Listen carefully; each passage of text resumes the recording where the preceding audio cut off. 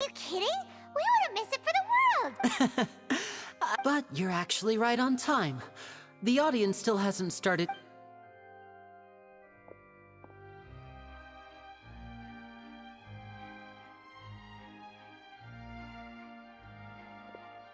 The Opera House has assigned seating, so you always have to make reservations.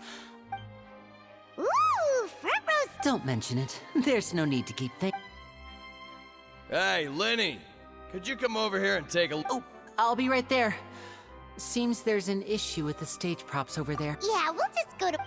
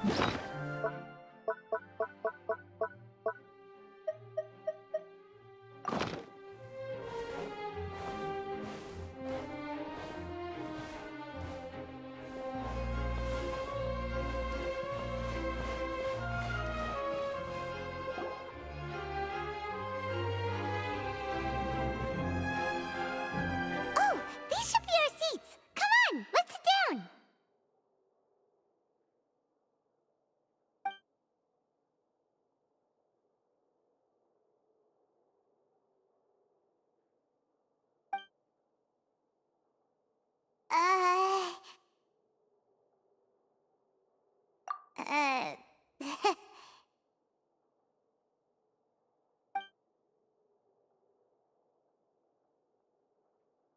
Hey, traveler. Maybe we should strike up a conversation with the person next to us. Since we're sitting together and the rest of the place is practically empty still, it's kinda awkward if we don't say anything. Ah.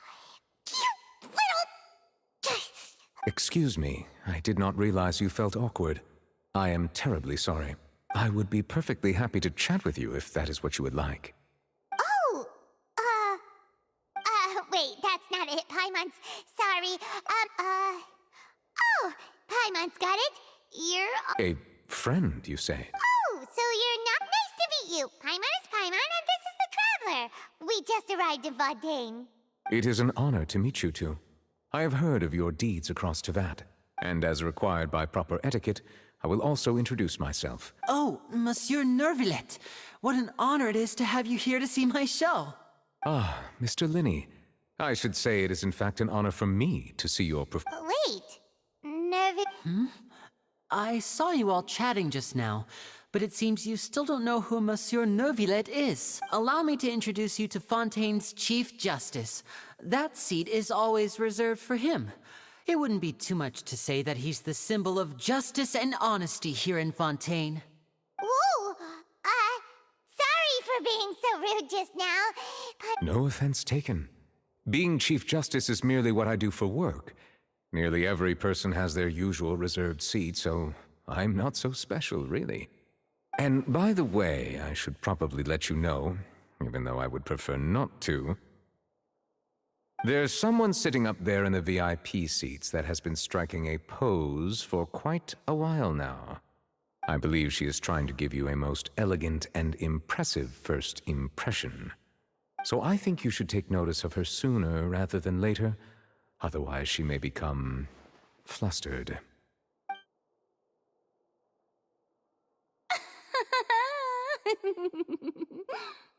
huh? Oh, it's Furina, the Hydro Archon. Huh. She sure has a smug and satisfied look on her face. Guess she has no idea that you saw right through her act. Very good. That is for the best. No need to pay her any more attention. We may now enjoy the show. Huh? So is this what things are like between the Chief Justice and the Hydro Archon? All right, please wait just a moment longer. I've pretty much finished my preparations, and the performance will start as soon as the audience has made their way to their seats. Yay! The show's finally about to start!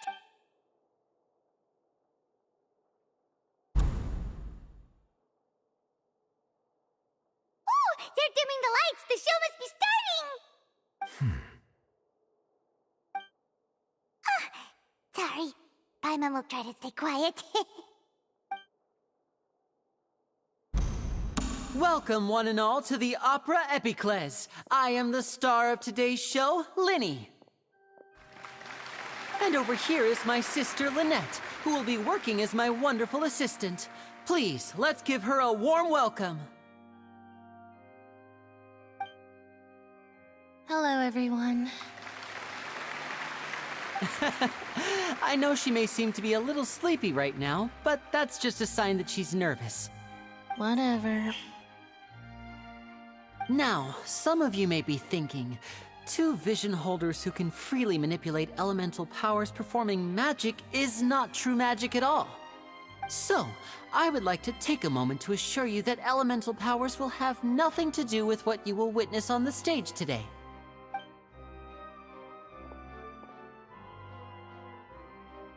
Both Lynette and myself have removed our visions for the show. That way, even the gods won't be able to help us. Oh, good point. That's what makes the show real magic. Now, without further ado, let the show begin. Lynette will now exit the stage to make some preparations. I know you might miss her, but don't worry, she'll be coming right back on stage momentarily. Perhaps in an unexpected way. I'm sure she'll be stealing the spotlight soon enough. Oh, and before I forget, there's one more thing I should say. You never know what can happen in the blink of an eye. A magician's greatest skill is making things disappear or appear. The possibilities are endless.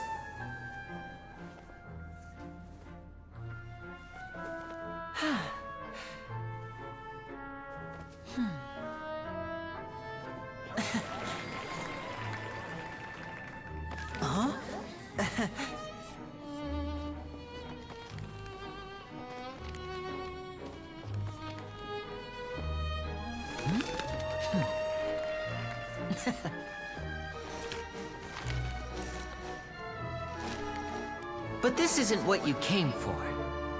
These little tricks, you've seen them all before. So it's time for something truly extraordinary, don't you think? This one's a little tricky.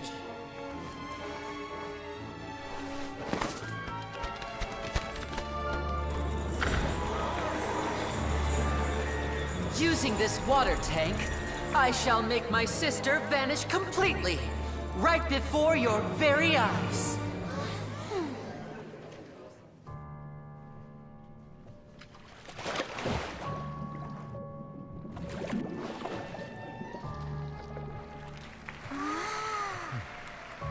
It's actually quite simple.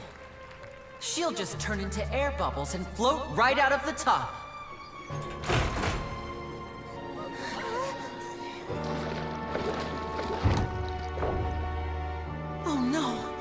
I told them to check all the props carefully. With the lid on, even air can't escape. An amateur magician would be getting very nervous right around now. Luckily, it's me on stage, so let me show you what a true virtuoso can do.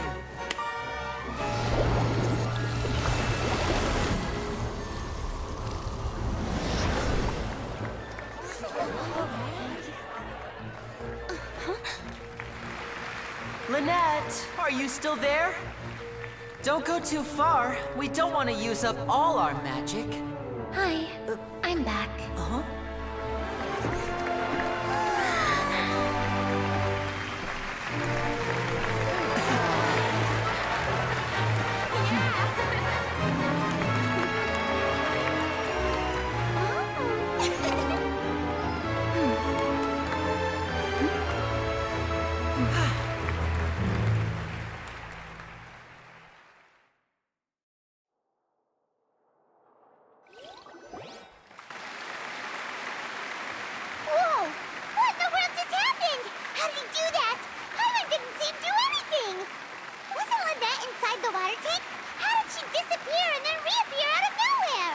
If we could see easily through his tricks, then that would mean that his skills are still lacking.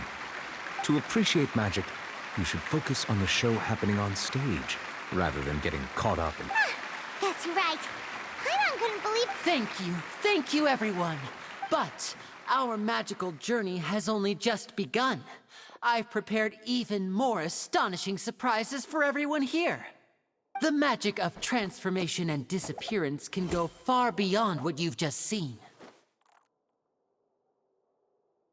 I'm sure many of you are thinking that escaping the water tank was impressive enough. But Lynette is still my assistant after all. In which case, I have ample time to make all necessary preparations.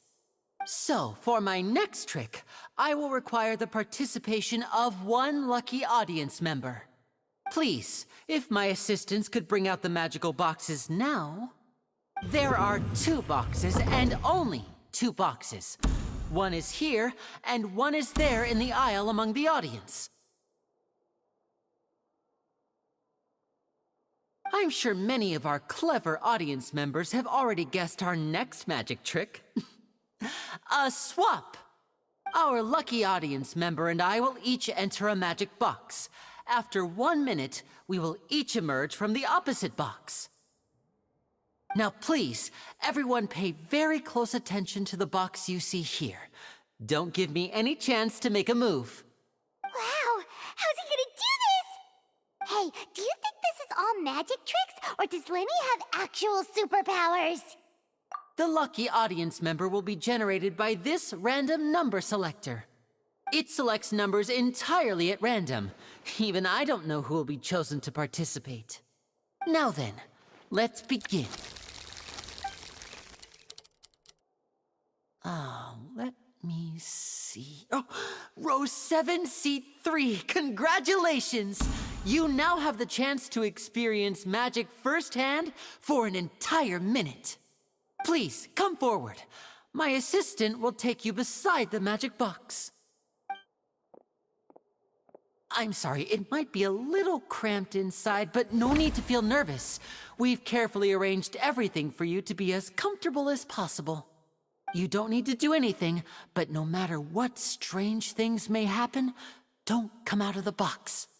If the magic is interrupted, who knows where you might end up? You might even find yourself in the Fortress of Meropide. Oh, okay. All right. Before I enter the magic box, there is one more thing I need to ask the audience to do. Could you all give me a countdown? Like this 60, 59, 58. Just keep counting down. You can go a little faster or slower if you like.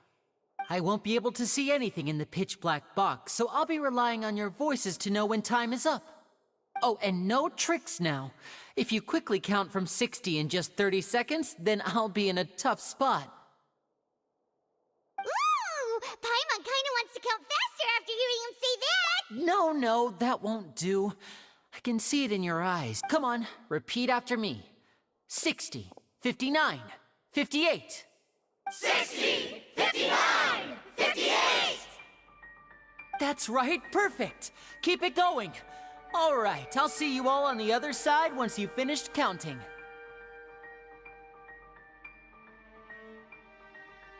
Fifty-four, fifty-three, fifty-two? Huh? Why aren't you counting, Neuvillette? I am counting in my head. I think things are exciting enough in here as it is.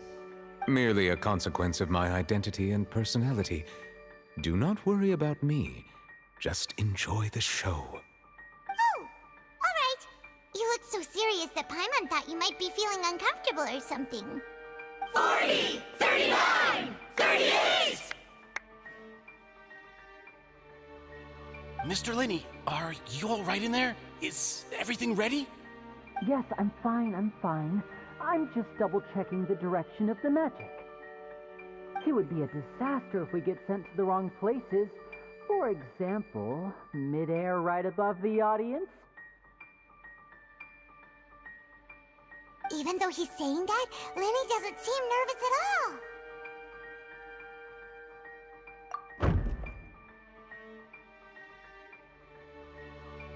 Ah! What was that noise? Did you hear it too? not sure. Anyway, it doesn't seem like anyone's worried about it.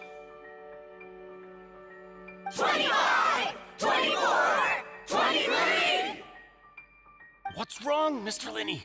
I can still hear you moving in there. I seem to have accidentally knocked over a decoration. I'm trying to fix it, but it's pitch black in here. I can't tell left from right. Never mind the decorations. There's no time for that. The show is what's important. No, that's unacceptable. I want my show to be perfect. Don't worry, we still have 20 seconds. Hear them counting? 19! 18! 17! Ah, it seems things aren't quite going as planned. I apologize, everyone. It feels like you're all starting to count faster, but that's all right. I know it can be tiring to do such a long countdown. Ten seconds and change is still plenty of time. Ten! Almost there now. Whew. Swapping two people is harder work than you might think. Even a master magician like me can't guarantee I'll get it right the first time. Hey, wait! Is this the back one? I can't tell. They both look the same inside. Huh? No, that's not it. I'll try again. Seven! Hey, slow down! Honestly! Five! Four! Three! Uh, whoops! That doesn't count! Zero!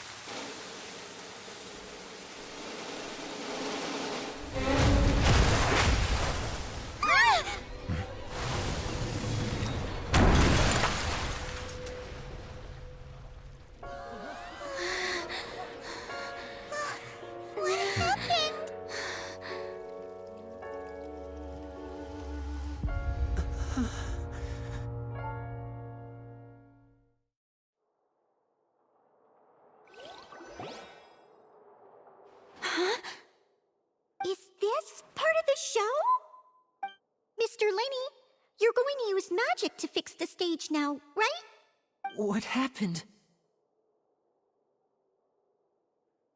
Oh no. Maybe this isn't part of the show. The girl was still. This performance is over.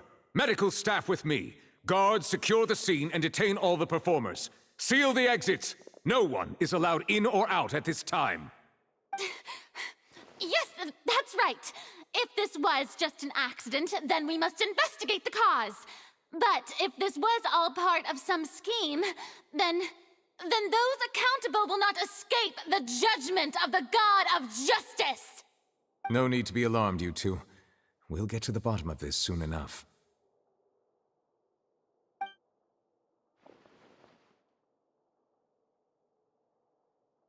Unfortunately, the person who is in the magic box has been pronounced dead.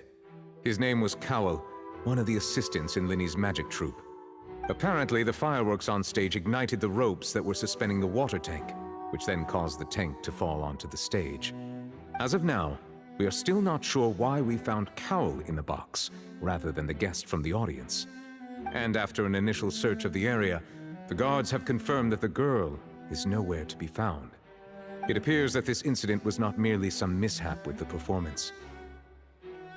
And there are many indications that it is connected with the case of the serial disappearances of young women. Uh, the the serial disappearances case? That's the case that Charlotte mentioned before. I know. I know the truth. I can see through the whole thing. Really, using such a shallow and obvious mystery as his finale. Really underestimate us that badly? I say that our powerful magician, Mr. Lyney, is now the prime suspect for the serial disappearances case. Huh? Why me? This whole thing was an accident.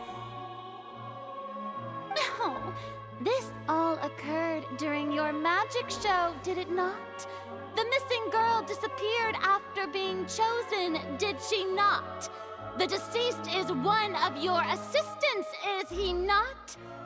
Now that I think about it, that whole speech about magicians making things disappear was nothing more than a provocation, a bald faced challenge. That can't be right. How can Lyney do this? He was in the box on the stage the entire time. We can even hear his voice. Besides, before the show, he told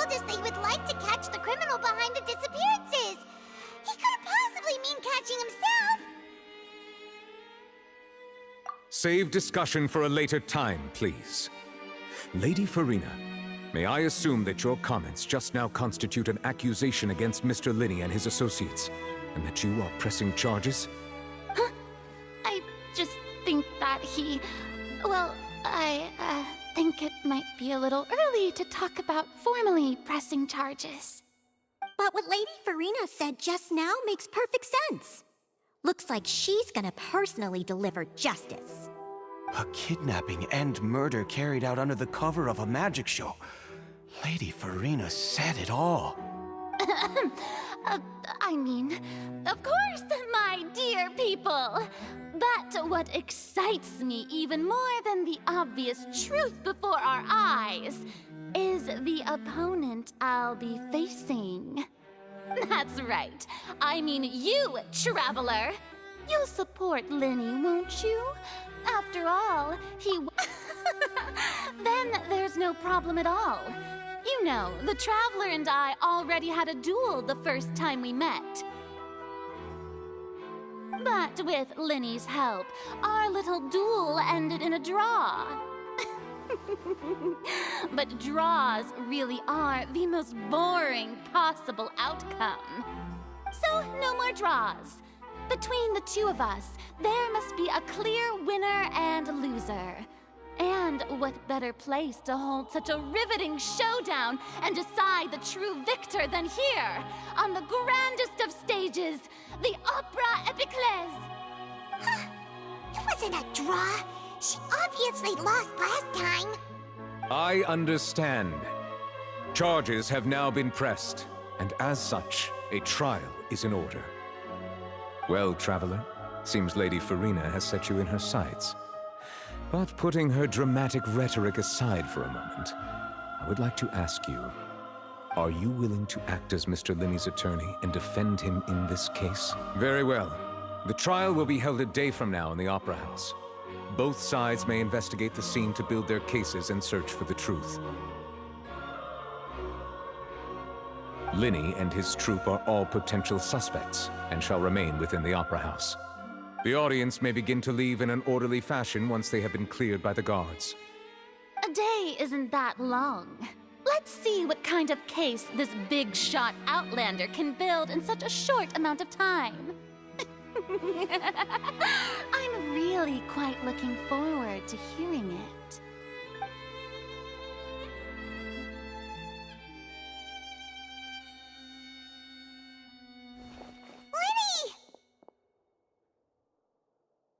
Sorry about everything that happened just now. Were you frightened? Of course! Who wouldn't be scared after witnessing an accident like that? Yeah, I'm a little shaken up myself. How could this happen? And poor Cowell. I know you already claimed that you would defend me, but now it's just us talking. Tell me, do you think I could possibly be the murderer? Good to hear. Thank you so much for trusting me. I'm sure everyone sees me as the biggest suspect at this point. But if you ask me, the whole thing is mysteries layered upon mysteries, such that all that's left is confusion. I don't know whether what happened there on the stage was purely an accident or not, and I don't know why poor Cowell was in the box. As for how that girl chosen from the audience could suddenly disappear, I'm afraid I don't have any answers either. If some, even a skilled and knowledgeable magician like myself couldn't pull all that off in just one minute. Which is precisely why we need to investigate. As this book says, The impossible could not have happened. Whatever happened must have been that which is possible. Paimon bought them when we were reading at the bookshop in the city earlier. Pretty cool, huh? Don't worry, Paimon used her own savings to buy them. It wasn't from our travel funds. I think they look cute on you, Paimon. You have good taste, Lynette. That's the right attitude. Feeling depressed isn't going to help me now. I need to get back to my normal self. But with the guards watching our every move, it's going to be especially difficult for Lynette and I to prove our own innocence. Good thing you agreed to be our attorneys. Thanks for that. We'll be counting on you. Yes, thank you so much.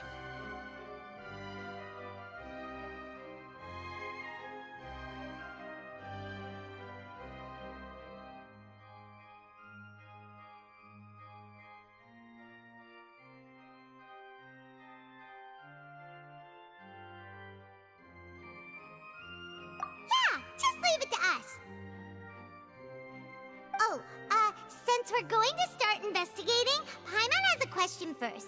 Where did Lynette go during the performance? Ah, well. I'm afraid that would involve some of our essential trade secrets as magicians. The secrets behind our magic are past saving, Lyney. I suppose you're right. The truth behind our tricks is going to be important evidence that will be weighted during the trial. Tis truly a pity. As a magician, our magic show is a work of art. We've poured countless hours and spared no effort in perfecting it.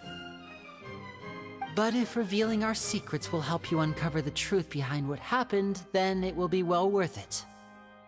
We should go somewhere else if we're going to discuss our magic tricks.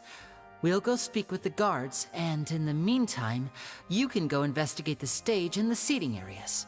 Alright, let's the investigation teams are still here. Detective Paimon is on the case!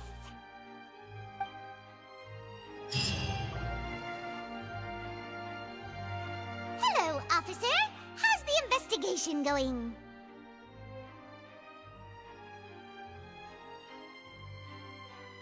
Ah, I see.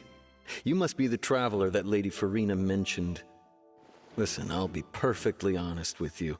I'd avoid getting mixed up in this whirlpool of a mess if I were you. Huh?